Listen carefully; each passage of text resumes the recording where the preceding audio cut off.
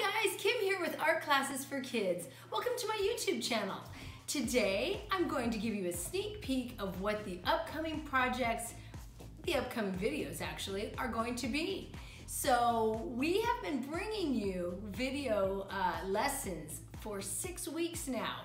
And I started doing them Monday through Friday, but now I'm doing them only Monday, Wednesday, Friday because I'm super busy getting a big summer project together that I'm gonna share with you guys.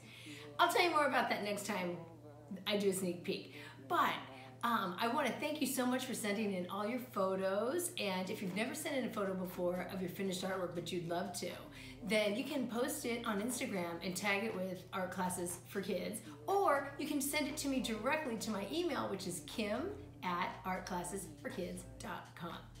And uh, I bet you guys are wondering what we're going to do next week. So let me tell you, on Monday, we are going to be doing a painting on paper. Let me show you what it's to look like.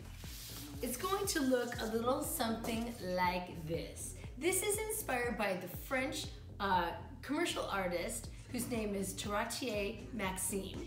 Here is an image of one of his works of art. It's actually an ad for Nike.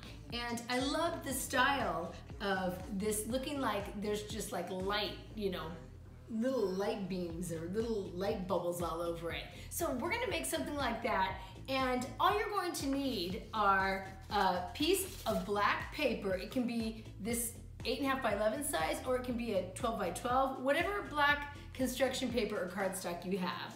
So you'll need that. You're also going to need some acrylic paints.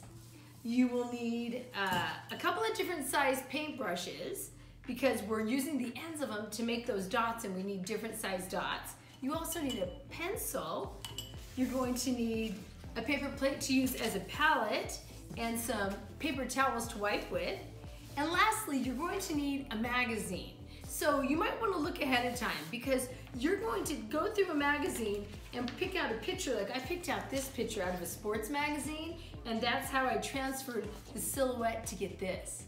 So you can do a sports magazine or you can do a fashion magazine, like I have this fashion magazine and do a fashion pose. But you'll need an image with a silhouette that will turn into a silhouette of a person. So grab a magazine with some good pictures of people in it uh, and all these supplies. Once again, it's acrylic paints, black paper, magazines, paintbrushes, a pencil, a palette, paper plate palette, and some paper towels.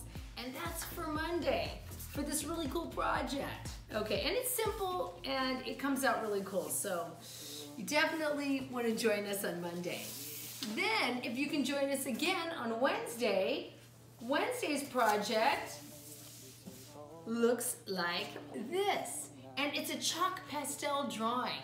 It's inspired by the artist, he's an American contemporary artist named Brad Durham.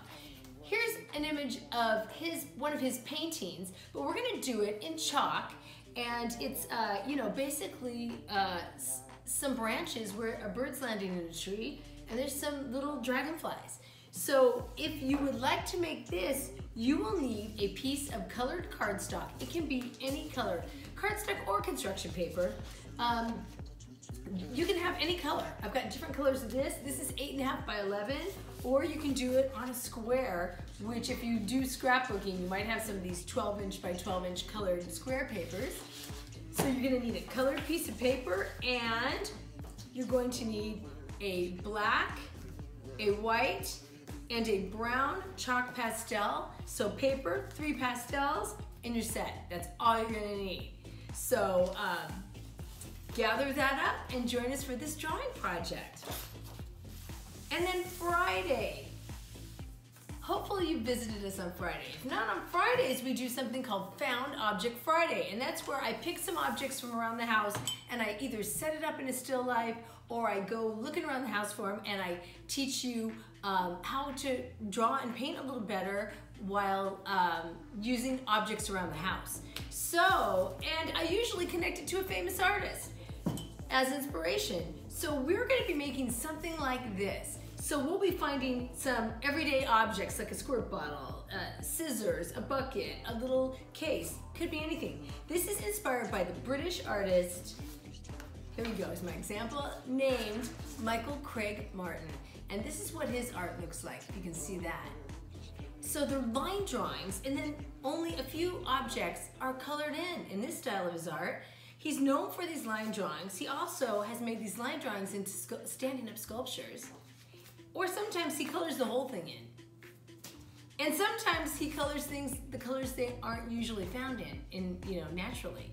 So what you're going to need for this project, it's a painting. We're actually gonna be drawing with paint. You'll have an option of either drawing it with a Sharpie or painting the black lines with a paintbrush. So we're going to need the usual stuff to paint with. We're going to need acrylic paints, we're going to need some paper towels, we're gonna need a few different sized brushes, definitely a really skinny brush and a medium sized brush. You're gonna need a pencil and a Sharpie, a paper plate for a palette or whatever you use around your house for a palette, and then for the canvas, you can either use a canvas panel, which is the thin version of a canvas, or the thicker version where the canvas is stapled around wood. So grab yourself a canvas, if you can get one. If not, you can always paint on poster board or, or something. And uh, that's our Friday project. So I wanna thank you for joining us all the weeks you have, and I hope you keep watching because I've got so many more projects to share with you. Um, and you know, make sure that you like and subscribe and click that notifications button because then we send you a little reminder that we've got a new video out. So I hope to see you next week so we can make some cool art.